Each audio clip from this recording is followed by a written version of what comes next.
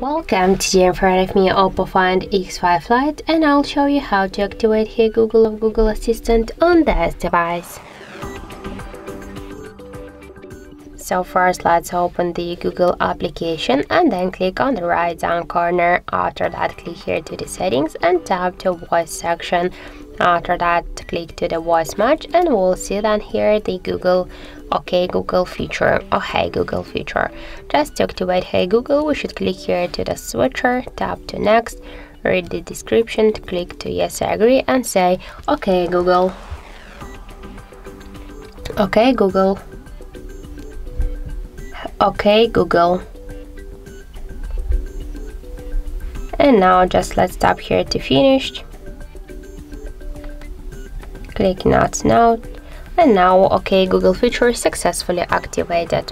So that's it. Thank you for watching and if you find this video helpful, don't forget to leave a like, comment and to subscribe our channel.